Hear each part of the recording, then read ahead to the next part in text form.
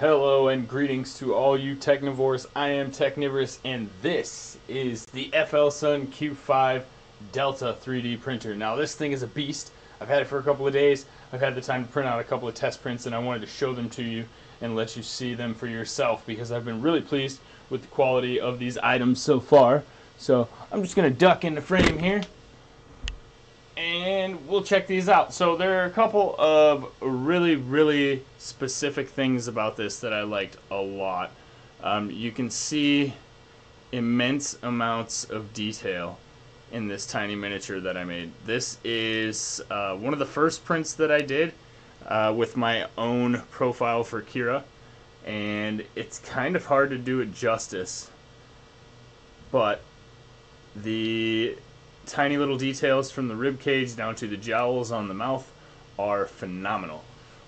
What else did we print? Well, all of our prints didn't come out that amazing. Some of the other problems that we happened to have when we first started was removing items from the bed. So as you can see, I took a, a chunk out of the corner of this, trying to get it off, and that was kind of frustrating. I also took a chunk out of this poor elephant, um, and that was frustrating as well. I know that's kind of hard to see because the way the light's hitting it there with the coat with the chroma filter, but uh, you can see a little chunk missing right here. That is suboptimal, obviously. But other than that, which was my haste to get it off the bed, things were sticking a little too well at first. Um, the model is actually a really, really nice model. Um, this is actually the first thing that I printed, this little cube here. And unfortunately, I didn't have anything tightened up the way that it needed to be, so there's this really, really easy to see wobble in here. And you can see it on the corners especially.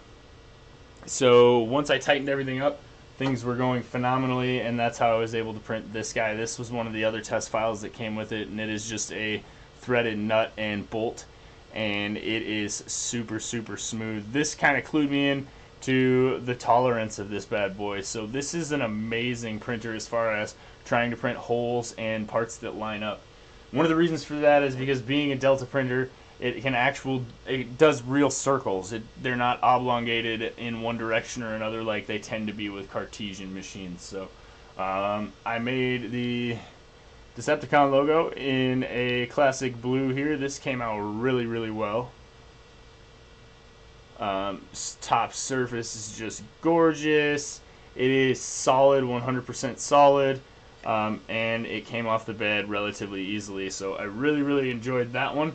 And then, I don't know if you saw my video on Fusion 360 the other day in texturing around a curved surface. The threaded screw here has this amazing texture around it that you can see there. It's beautiful. So I thought I'd try to replicate something like that on this ice fishing rod that I was making for a friend of mine and I thought it came out pretty well so we did a video on how to texture that around here on this contour as well but this is a really really nice job. It came out in about an hour and a half and this thing is super fast so I don't really have any complaints about this printer so far. I mean obviously this isn't the full review. We'll give it a couple more weeks of testing and test out its maximum build size and things like that. But I mean, uh, it's it speaks pretty much for itself. It's a pretty nice printer, and I definitely am going to be looking into getting some more deltas because it is definitely the quietest machine that I have so far. Uh, I guess it remains to be seen if that guy back there in the corner will be quieter or not, but pretty soon we'll know. I have a feeling though that you can't get much quieter than this. You can hear the fan on here when it's running, and that's pretty much it. So. Um, that's going to be it for this video, guys. I hope you like my little demo models. Uh, we are going to get the setup video up shortly, but for now, uh, I thought I'd show you some of my amazing prints that have come off between now and the time that I unbox this thing, because, uh, like I said, the quality on this guy, I'm, I'm impressed.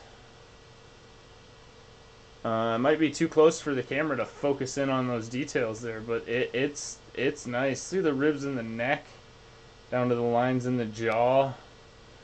So, yeah, if you get the chance to try one of these, definitely recommend it. If you know any other Delta printers you think I should try out, leave those in the comments down below. I definitely want to get a hold of some more of these guys.